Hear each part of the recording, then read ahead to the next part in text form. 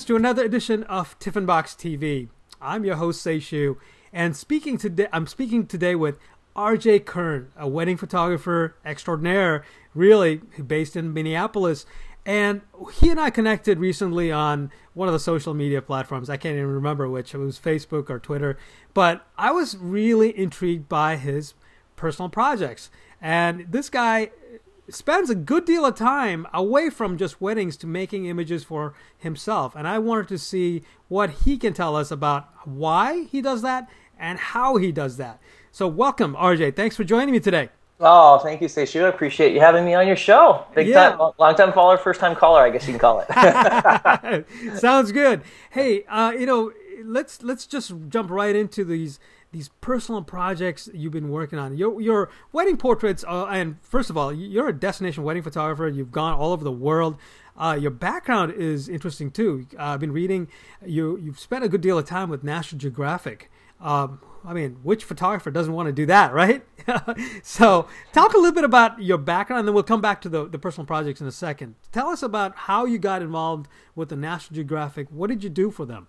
Sure thing. I was a I started off as an intern, um, literally the day out of college, and I studied geography and fine arts, and had a double major. And I, I knew I needed a, some sort of a career launch. Um, getting started as an artist can sometimes be a challenge, but I love geography. And so I started off in Washington, D.C., um, in the news division of their website, nationalgeographic.com. I wrote some amazing stories, uh, interviewed some amazing people, wrote, and um, Jane Goodall and Bob Ballard, who found the Titanic, and, and so on. And um, really kind of was exposed to uh, the upper echelon, if you will, of photographers. And um, several of them took me under their belt and encouraged me uh, to pursue um, my interests. And they say, yeah, I think you've got something to share. And uh, so I, I, worked as a cartographer, as a staff position for five years, and um, it was an amazing ex- experience. Um, again, that was like my day job for so many years. And I, as I kind of slowly, it was circa 2000, 2005. Sure. And, um, and, and through that, it really uh, afforded me opportunities to focus in on my photography building uh, business stage, which takes quite a quite a while to build your platform and um, experience and clientele. And um, went full time um, several years ago, and this is my ninth season shooting weddings. Awesome. So interestingly, you had a day job, let's say, and uh, on when the time permitted, you were able to go out and make images for yourself. So you were you were already sort of doing a personal, sort of pursuing personal projects along the way. I mean, it's not like you decided one day I'm going to start making images for myself. You've been doing that for a while, right? I've been a huge proponent of um, maintaining advanced uh, hobbyist status in photography sure. for a long time. you know, the moment money crosses hands, um, it begins to kind of muck up things. Yeah. And so um, when I went full time, I realized, like, much like exercising and eating healthy, like, I need to take care of my creative soul. And otherwise, I'm going to be no good for myself in five years, 10 years. And my clients will see it, my business will steadily decline. Um, I, I also have a fine arts background. I mean, I, don't, I didn't get into photography because of weddings. And so it was paying respect to that. Um, half the time of making art is, is the process. Mm-hmm. And uh, that, that process takes me outside, which I love. Um, and interacting with nature, as, as cliche as it has, is it is, it's very therapeutic as well. Right. And um, I think all humans can stand benefit more time outside and less time in front of these computer things. Uh, but it's a necessary evil, and so it gives me something to look forward to in the off season, to think about, to plan. Um, and uh, the project kind of slowly evolved. Um, and to the point now, I've got several fine art exhibitions coming up and a oh, portfolio excellent. review. So yeah, excellent. Give us an idea of, of, of the projects you've worked in the past. Mm-hmm. Yeah. Tell, tell, tell us about the kinds of things that you've just said. Oh, well, the season's just wrapped up. I'm going to go off and do what? You know? Sure, sure. Um, 2010 was a big year for me. It was uh, I went to Burning Man, and that was as a visual culture is the world's largest outdoor art festival, and um, some quality time with some world-renowned photographers. So it was, a big part of it started in 2010 when I went to Burning Man, and that was a phenomenal experience in terms of where you can create art and money doesn't exchange hands. and so creating portraits um, of people that's a big part of tying into who I was as a wedding photographer, and and that kind of scaled itself to the point where it created a lot of joy in taking pictures and sharing my talents. Now, do you go every year? Uh, I went every other year, so this is my um, three three different uh, times: uh, okay. uh, 2000, 2012, and 14. Okay. I see on your website it's uh, Burning Man 2014 Part Seven, Couples in Love. so I'm assuming there are several different parts to your project. Um, obviously you're financing these on your own. Uh, you know, thanks to a fairly busy uh, wedding season that allows you to be able to go off and, and, and do these projects. Correct. Correct. Correct. So, and yeah, tell us a little bit about how, like how do you like mentally say, well, okay, I'm going to put away X amount of dollars for this project. I mean, how you know you know, doing a project sounds uh, sounds like a wonderful idea, but most people don't sit and plan it I think Correct. that's that's the problem. You know, they all think, okay, well, I'm going to do this, but then this sort of shows up next day, and you can't really do it. You know, exactly. and, and you have to sort of think about, oh, I'm going to go to Burning Man um, two years from now, and I'm going to need you know a certain amount of money to be able to make it out there and survive and all these other things and of course and then you have to think about the the portraits how are they going to be presented right Correct, correct. So, no, how do you tell us a little bit about your thought process in making all of that happen for you? I think the big thing is following your heart and listening to your heart and saying, okay, you know, this is something I need to do. Okay. Um, I think it's easy when life gets busy to make excuses why we, we can't carve that time out. Um, and it's uh, I made mention earlier in the conversation about exercise or eating right and taking care of yourself. Um, if those don't become a priority, everything else will slip in our life. Yeah. And so, as a creative person, um, I feel like, yeah, this year I need to go. And um, it, it, it, wasn't a forced mechanism.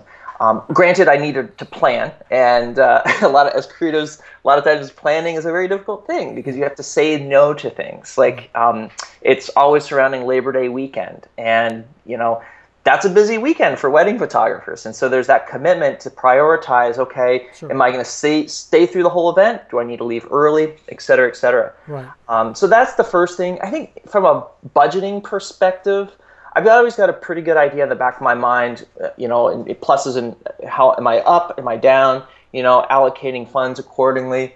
Um, obviously, there's your travel. Um, I think the most important thing underlooked in pursuing any sort of personal project is is solid insurance because ah. you know you're you're putting your gear out there, um, you're putting yourself out there, and you know a lot of people say, "Oh, I'm going to take a bunch of random p- pictures of people," but what if something happens? Um, and that that's something that um, I think helps to build confidence to knowing that you know I can take out a medium format digital camera. If something happens, it gets caught in a dust storm. You know, I've got insurance that I'm not afraid to bring my good camera. Does that make sense? Yes, that absolutely makes sense. And I was just thinking about that because Burning Man is not, you know, it's it's it's out in the desert, and you are to get hit by a sandstorm or or whatever. You know, like it can happen, and you exactly. have to you have to be prepared for it. Um, tell us a little bit about this this project, uh, which you posted about called the Year of the Sheep or Goat. Uh, I mean, it's it, it, the, it's the first thing I saw on your website that goes, what is this guy's doing? He's taking out his strobes out in the in the wild and photographing these these very sort of scary looking sheep. I, I, call them artistically neglected animals. I mean, let's face it, you know, they're not as exotic. Um, many people find them to be a nuisance, in fact, oh, and because uh, um, they eat everything in, in sight, right?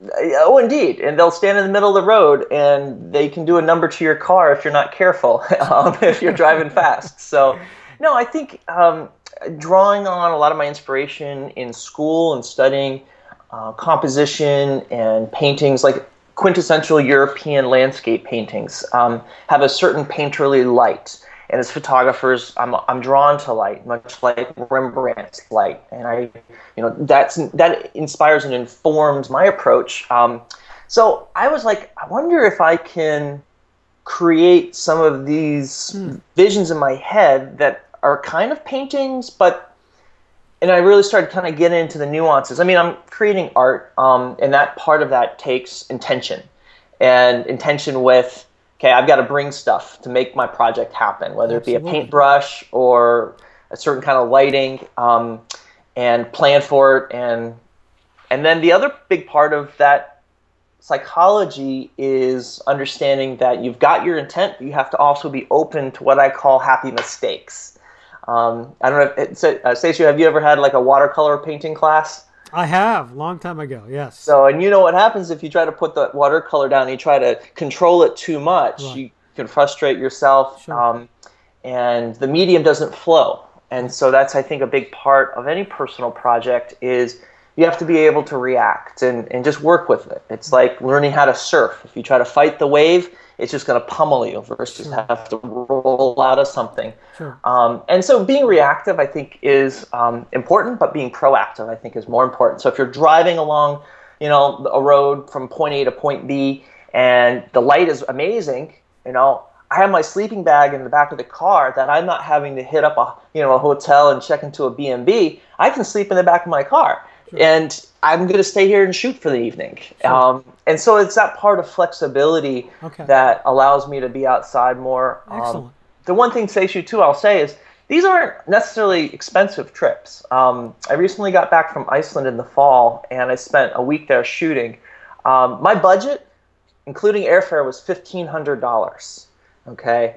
And that was a portion of the proceeds from the sale of a fine art show months before. So trying to keep, okay, you know, the, the money's separate and you're talking about making commitment. So if you make money in the fine art sale, try to roll that back into the fine art as ah, opposed to, you know, the, the, the, the day job pays yeah. the bills and insurance and food and that sort of thing. Yeah. Um, but it's important to separate the art as well because to keep that momentum rolling requires some financial um, to make it worthwhile. Otherwise, you're like, you know what? I, am not going to do anything this year. Sure, you know, sure. so that's that's a little bit how I, I justify some of these trips, and then of course you can t- write off a good portion of that trip come tax time. That's always helpful as well. Sure.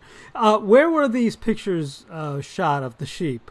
Yeah, Norway, Ireland, and Iceland, and it's over a three-year period okay. uh, as I'm kind of tracing my call it family's genetic homeland.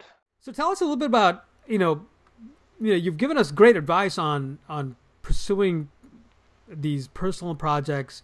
Uh, the advice on, about you know financing your your projects from uh, the sale of a of a previous, I guess, personal project and rolling it into another personal project is just gold. I love that what other piece of advice would you suggest for photographers who are aching to really do something, whether it's the off season or even during the on season when things are a little slow and you can go out there and do things differently for yourself? I mean, there are opportunities everywhere. So, what do you suggest?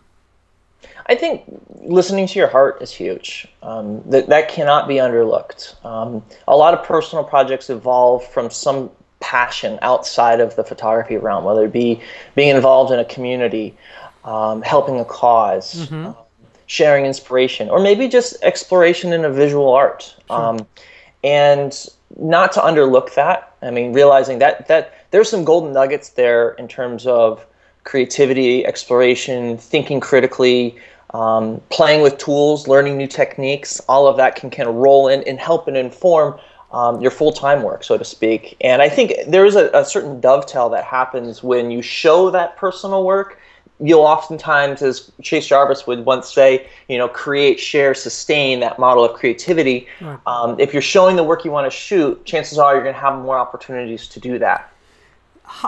So what I'm hearing you say is that you pursue personal projects also for a reason, which is to keep to keep sharp to be exactly. able to, to to be able to go out there and and stay you know in the in the zone as it were you know beyond weddings you know where you have to be consistently uh, you know aware of of where for, for, for in this example and i'm looking at them like these three sheep all looking back at me. You know the fact is you had to be there in, in a you had to be there. You had to be actually there and and ready for the moment. And and it's not so different from photographing a wedding where you're actually, you know, anticipating something happening in front of you and you're constantly getting in, in, in, in a zone where you are starting to be aware of elements coming into your frame, right? Am I am I Well, you can't you can't pose a goat or a sheep like you can a bride.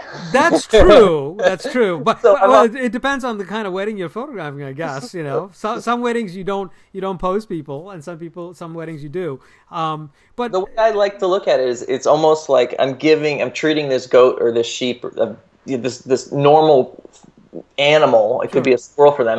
Treat him like okay, this is your cover shoot for Vanity Fair, uh, and realizing like there's a photojournalistic quality that Sure. you have everything set, locked, and loaded, but then you're looking for that moment, Yeah. and that's that's that's keeping skills sharp. That's huge.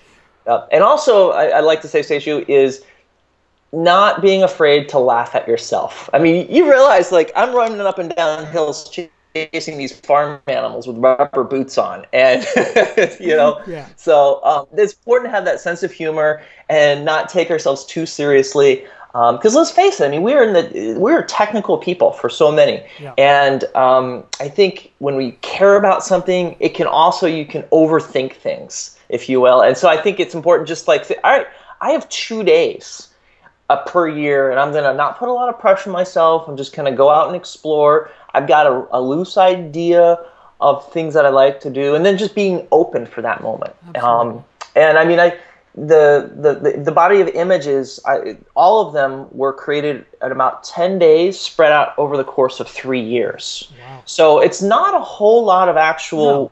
busy time, right, You know, right, yeah, um, marketing the images, printing the images, framing the images, transporting the images. That actually can also be a fun distraction as well. Sure. So excellent. Um, RJ, you know, it's it's inspiring to see uh, you so active and and so just involved in whatever it is. You're you're just you're, you're like the consummate image maker in a way, where you're out there making images all the time. You know, um, and you've made the time for that to happen, and you've made the effort for that to happen. I think people need to understand that you've got to do both. You know, be able to produce a body of work, uh, and and the end goal is yes, you're going to have a body of work, but the end goal is you're going to be a much better photographer after you do something like exactly. this. You know, and I like to think that you'll do more in 11 months than you ever will in 12 months. And having the f- support of friends and family is huge. I can't underplay that. You know, allowing that time to take off to create that Sure. um, that, that that work. And a lot of times my family comes with me, or I can piggyback a wedding off of personal work. Um, and that is, you know, I'm always trying to keep that sustainability model in mind. Like, will I still be able to shoot weddings in 20 years?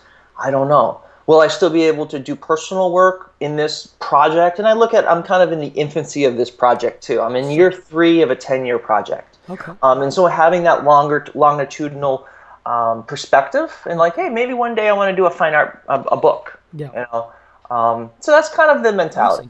Uh, when when it comes down to it, I know it's, you've talked about, you know, you being a photographer for the next 10, 15, 20 years or whatever, and then focusing on these personal projects all the time.